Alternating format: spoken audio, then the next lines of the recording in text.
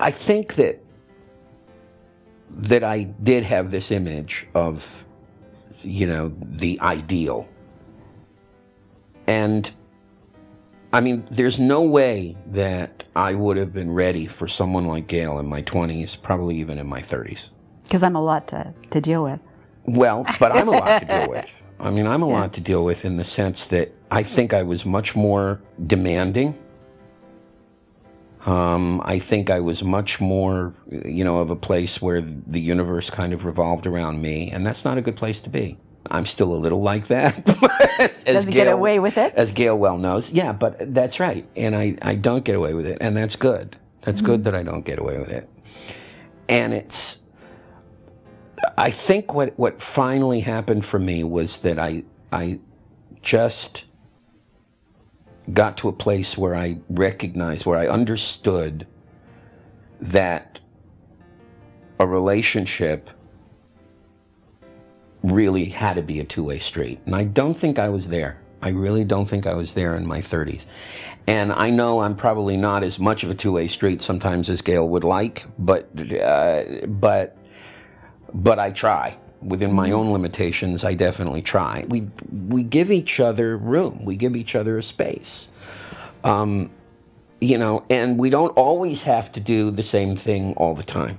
Mm-hmm. Um, so if I don't want to go walking, I don't go walking. You know, and if Gail doesn't want to watch the myriad hours of television that I watch, then she doesn't. You know, I mean, I used to want to share every episode of everything with her, and now I just say, "You pick like you pick like three things or four things." She says, turns into eight.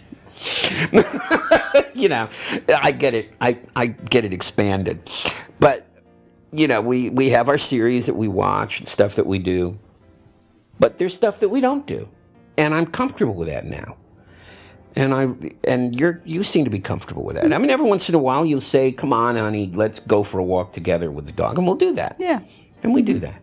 But you know, when she gets up three times a week with the weights and the thing, I don't do that. but I think we're we're old enough now. We're, you know, we're mature enough where where we don't have kind of unreasonable expectations about what marriage is. I think that when you're more mature, when you get married, you figure out, you know what's important. You know, the kinds of arguments that you can have when you're younger that are just silly. They're, they're, you know, when you stop and think, is it really, is arguing about this or how we feel about each other? Which is more important? Is it the stuff that's stacked up on the table that I don't want there or that you didn't do this? Is that more important than how we feel about each other or how I treat you? And I think you, you you begin to realize what's what's more important. And I, I think that's true. And I think the other thing is that I mean we could probably make a list of the things that we don't have in common. Mm.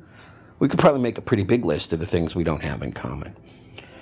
And yet I we have never had a discussion about core values, core beliefs in which we haven't completely agreed with each other. Um, and I don't even know if we knew that going in at the mm-hmm. time, but we, but th- we've never, you know, I've seen other people argue about really basic big things. We just don't. We don't. We don't. We argue about little things, but we don't argue about major, you know, life decisions. We don't argue about about core beliefs, core values, mm-hmm. and um, and I always marvel at that you know, because on the surface, two people can look like they're completely compatible because they go, you know, fishing and hiking and they, they do everything together. But to me, it's more important that, you know, because it would be very difficult for me to live with someone who fundamentally thinks about major things in a different way than I do. We have such a core feelings that are that are so strong uh, together, mm-hmm. and it's and it's wonderful because uh, we don't we can almost you know know what each other is thinking about about those things. Mm-hmm.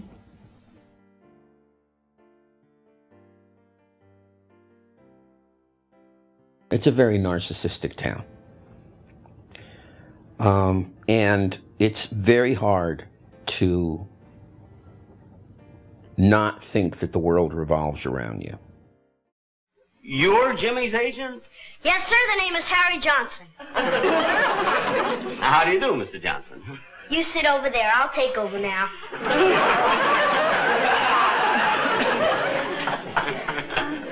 Isn't he cute? well, Mr. Johnson. now, Mr. Benny, I understand you want to use my client on one of your television shows. That's right. That's right, I do. He's supposed to play me as a little boy. And uh, now, you being his agent, uh, what do you think I should pay him? I mean, what do you think would be a fair salary? Two thousand dollars. Two thousand dollars. You still think I'm cute?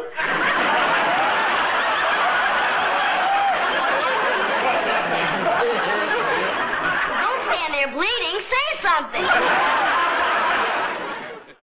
With me, I think it was less Hollywood than it was my upbringing because I started as a child actor.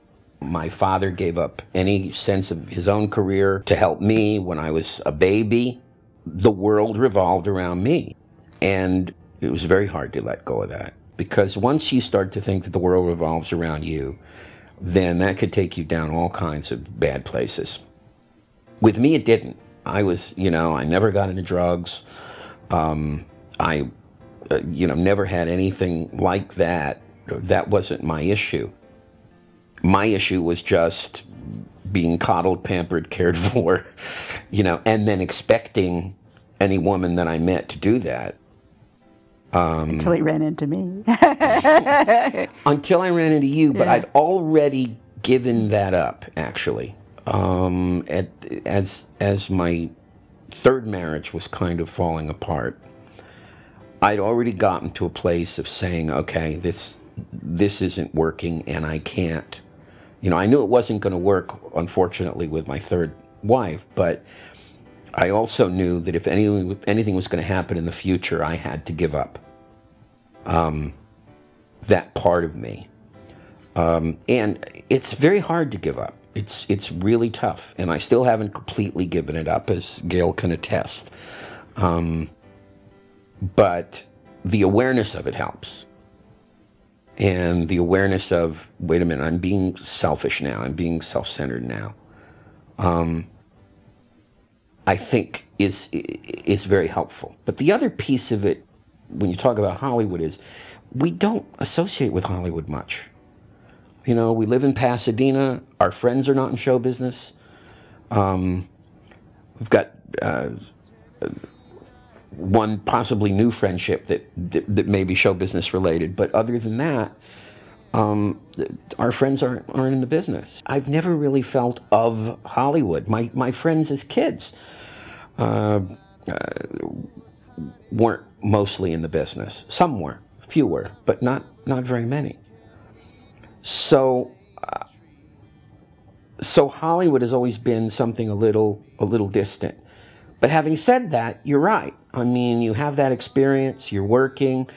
Um, you know, the world kind of caters to you, and that that does exist. Whether you're in Hollywood or in Pasadena or in the Valley or wherever you are, it does go with the territory.